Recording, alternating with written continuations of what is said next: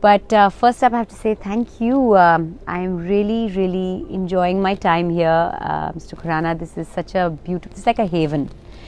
And um, especially in these last few months when all of us have been homebound, and to come to a place like this, uh, to experience nature in a form like this, and to be with family. I'm meeting my parents after 10 months, and I'm introducing them to my my daughter, who I adopted a few months ago. So, the I think Karma Lakelands is the place where this epic union is happening. Thank you very much for that. So beautiful. You're starting history. You're making history.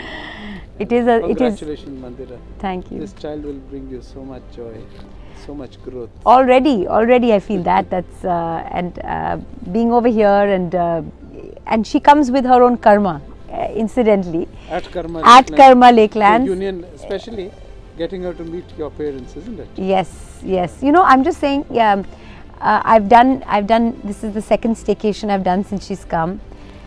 Now if i ever go to a normal hotel room she might not understand it because i've come to places like this. Expanse which feels like home which feels like um, you know so um, um, expansive and beautiful. She won't know what a regular hotel room looks like but that's her karma. Yeah. but uh, it's beautiful being here. And um, this morning I, I haven't done an official tour yet but uh, this morning uh, like you i'm into exercise i'm into mindfulness i'm in- into good healthy eating. I went for a run uh, around the property and it was so beautiful and serene and green i felt i was up in the mountains i mean somewhere up in the mountains you know there was so much yeah. peace and calm You know, if you were a birder, just 45 minutes touring of the place, you would have seen 60 different kinds of birds at least. And birders have been here and have given these kind of numbers.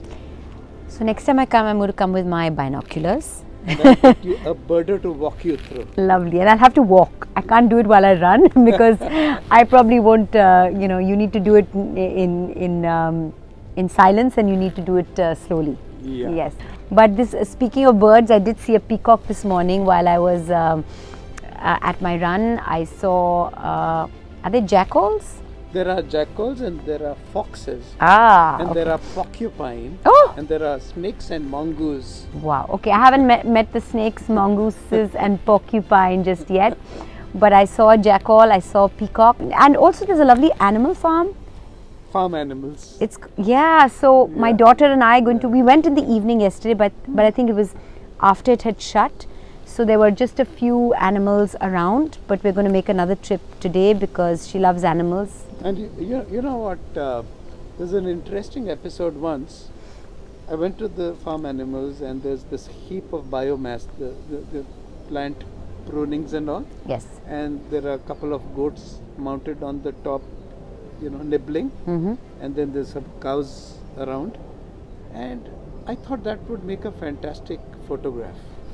And the caption was really funny.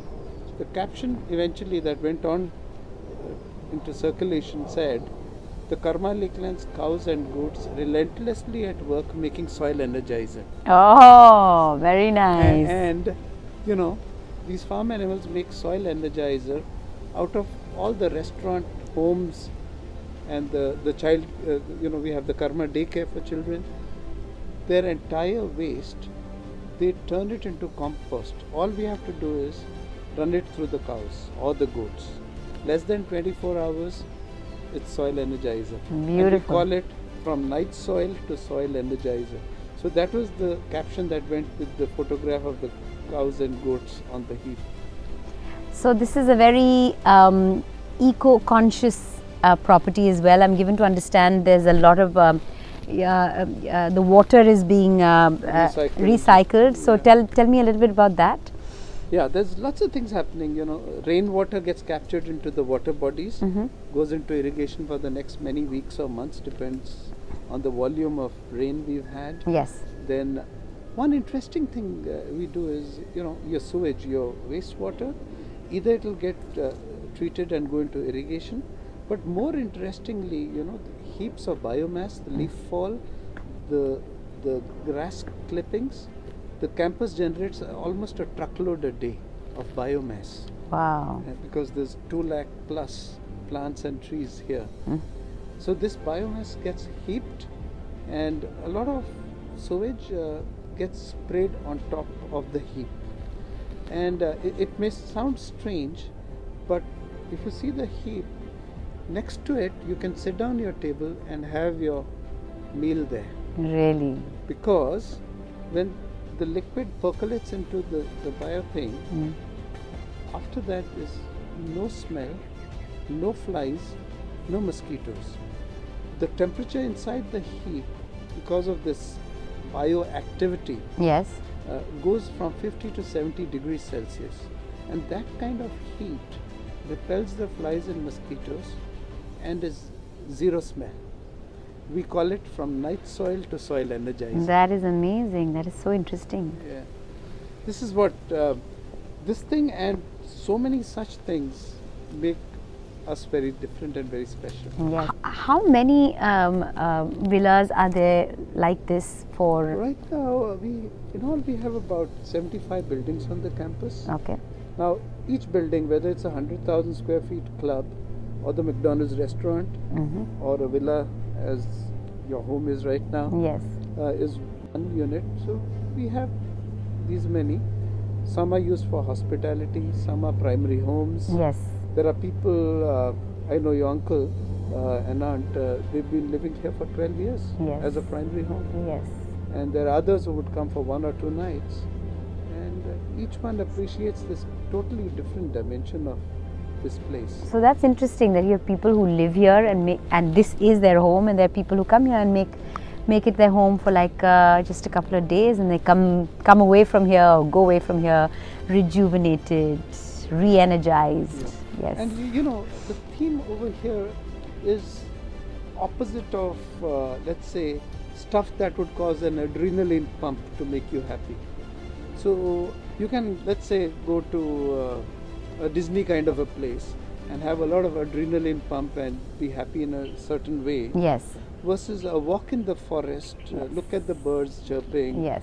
the sounds. So, this place we haven't we've had uh, like two meals here already. we haven't we haven't gone to any of the restaurants yet, by the way. Yeah, this is your universe. and yes.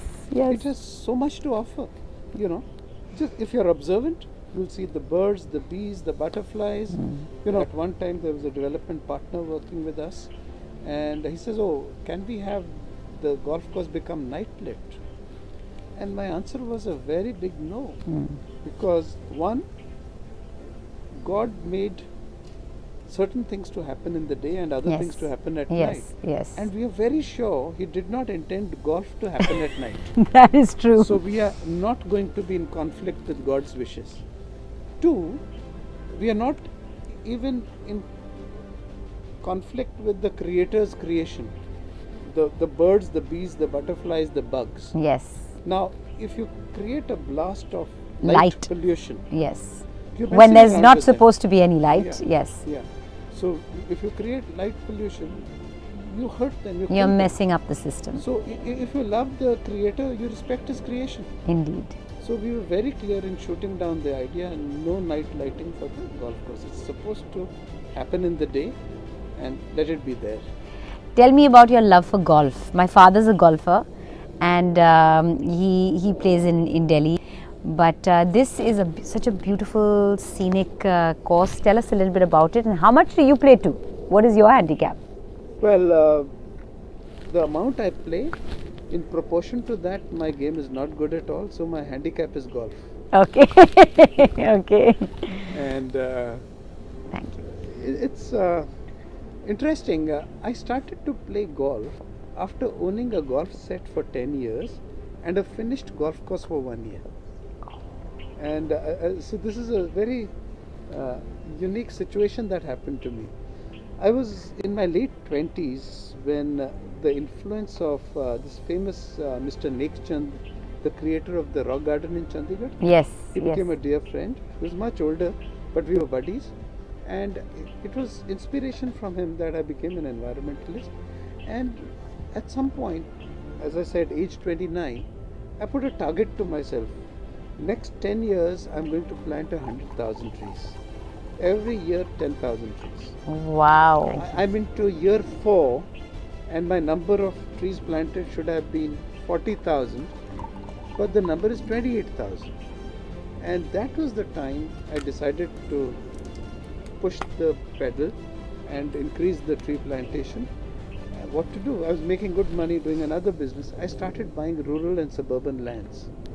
And that's how Karma Lakelands land banking happened. Oh. And then, post the land banking, uh, and the tree plantation begins, and stuff, are, a lot of stuff is happening. I realize there's a government proposal to take over this land for urbanization. Mm. And uh, two things: one is going to go for a toss, the other is uh, they pay you less than a song to take away your expensive land. Yes. So, how to keep the government uh, at bay Yes. from acquisition? Yes. So uh, the expert opinion arrived that if you go ahead and do something low density, lots of trees, like a golf resort, you can manage to detract this acquisition from happening. Okay. And that's how the golf resort concept So was you weren't a golfer at that point in time. No. I had a Ah. golf set, but I was not a golfer. Very interesting. Normally, it's like people who, you know, start resorts. They have that passion and drive for golf. They have to love golf, and here it happened in a different way. I- I Something know. brought you to golf, which was not golf. See, because to me, a byproduct of growing lots of trees was going to be the golf course because there'll be grass in the middle Yes. and trees all over. Yes. And uh, I know of a major golf course here. The owner was a very enthusiastic golfer, and the golf happened. Mine is just the opposite. My whole Karma Lakelands resort story is the cart before the horse. You don't have a business plan that leads you to do land acquisition. You have the land that leads to a certain business. Yes. And that's yes. how it happened. Yes. Yes. You had the trees, you had the greenery, and therefore you had the golf course. By de- then- sort of by default. and then somebody has to make it sustainable. Yes. So you throw in a few homes Yes. in the middle of the trees. yes. And and then interestingly, a treetop level development. We decided that the treetops are going to be taller than the building tops. So that's why you notice there's just a ground floor and a first floor. Place is a blessing, and having you over is a very special blessing. Well, thank you very much for having me. And um, what can I say? I, it's been really beautiful so far. And my parents are also loving it. So, on behalf of my parents as well, thank you very much. And my daughter is besides herself. She can't believe she's get, getting all this place to run and seeing the. The, we didn't know what to call it. What do we call this? In, what do you call this in Hindi? The lake Yes, jheel. Can call it a G. How do you what do you, how do you say that it's been created specially? Good question. I'm a, at a loss of words. Uh, really. I'm, I'm at a loss of words quite often. I think English has become a prime, uh, our primary language. yes, it has. So I, whenever I have to translate for her and try to try to explain things to her, I'm like, okay, what do you, how do you really express and how do you say this? But but she knows that this place is beautiful, and uh, and she's enjoying it. We're enjoying it. Thank you very very much. Thank you. And uh, I want you to know visiting this place over a weekend should not be just a weekend of flirtation that happened and went by. This should be a love affair and you should keep coming back. Thank you. Thank you. Thank you so much. Thank you very much.